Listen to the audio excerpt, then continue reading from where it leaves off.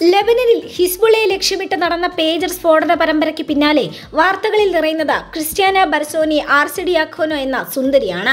ഹിസ്ബുളയെ ലക്ഷ്യമിട്ട് ഇസ്രയേൽ ചാര സംഘടന മൊസാദ് നടത്തിയതെന്ന് കരുതുന്ന പേജർ സ്ഫോടനത്തിൽ ക്രിസ്ത്യാനോയുടെ കമ്പനിക്കും പങ്കുണ്ടെന്നാണ് റിപ്പോർട്ട്. ഹംഗറി ആസ്ഥാനമായ ബി ആർ സി കൺസൾട്ടിംഗ് എന്ന ഐ ടി കൺസൾട്ടിംഗ് സ്ഥാപനത്തിന്റെ സിഇഒ ആയ ഈ നാൽപ്പത്തിയൊന്നുകാരിയുടെ കമ്പനി കെ എഫ് ടി എന്ന പേരിൽ കമ്പനി രൂപീകരിച്ചാണ് പൊട്ടിത്തെറിച്ച പേജറുകൾ നിർമ്മിച്ചതെന്നാണ് ലെബനൻ നടത്തിയ അന്വേഷണത്തിൽ വ്യക്തമായത്. തായ്വാൻ കമ്പനിയായ ഗോൾഡ് അപ്പോളോയുടെ പേരിലായിരുന്നു പേജർ നിർമ്മാണം. രണ്ടായിരത്തി ഇരുപത്തിരണ്ടിലാണ് B R C consulting pager business തുടങ്ങിയത്. എന്നാൽ ഈ ആരോപണം നിഷേധിച്ച് ക്രിസ്ത്യാന രംഗത്തെത്തിയിരുന്നു. സ്ഫോടനങ്ങൾക്ക് കാരണമായ പേജറുകൾ നിർമ്മിച്ചത് ബി ആർ സി കൺസൾട്ടിംഗ് അല്ലെന്നും തങ്ങൾ ഇടനിലക്കാർ മാത്രമാണെന്നുമാണ് ക്രിസ്ത്യാന വെളിപ്പെടുത്തിയത്. സ്ഫോടനം സംബന്ധിച്ച് യുവതി ആകെ നടത്തിയ പ്രതികരണം ഇതുമാത്രമാണ്. അതിനുശേഷം യുവതി എവിടെയെന്ന് ആർക്കും അറിയില്ല എന്നാണ് റിപ്പോർട്ട്.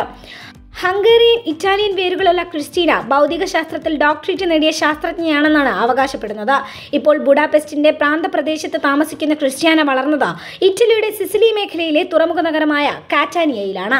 യൂണിവേഴ്സിറ്റി ഓഫ് ലണ്ടനിൽ നിന്ന് പാർട്ടിക്കൽ ഫിസിക്സിൽ ഡോക്ടറേറ്റ് നേടി. ഏഴ് ഭാഷകളിൽ പ്രാവീണ്യമുണ്ട്. കാരുണ്യ പ്രവർത്തനം മുതൽ രാജ്യാന്തര സംഘടനകളും ശാസ്ത്ര സംഘടനകളും അടക്കം വിവിധ മേഖലകളിൽ ജോലികൾ ചെയ്തതായി ഇവർ അവകാശപ്പെടുന്നു. രാജ്യാന്തര അറ്റോമിക് എനർജി ഏജൻസിയിൽ പ്രോജക്ട് മാനേജറായും ന്യൂയോർക്കിലെ എർത്ത് ചൈൽഡ് ഇൻസ്റ്റിറ്റ്യൂട്ടിൽ ബോർഡ് അംഗമായും പ്രവർത്തിച്ചിട്ടുണ്ടെന്ന് ഇവർ അവകാശപ്പെട്ടിരുന്നെങ്കിലും അത് തെറ്റാണെന്ന് ഇപ്പോൾ തെളിഞ്ഞിട്ടുണ്ട്.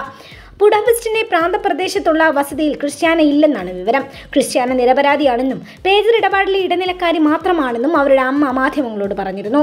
ബിസിനസിനെ കുറിച്ച് ക്രിസ്ത്യാന സംസാരിക്കാറില്ലായിരുന്നു എന്നാണ് ഇവരുടെ മുൻ ആൺ സുഹൃത്ത് വിദേശ മാധ്യമങ്ങളോട് പറഞ്ഞത്.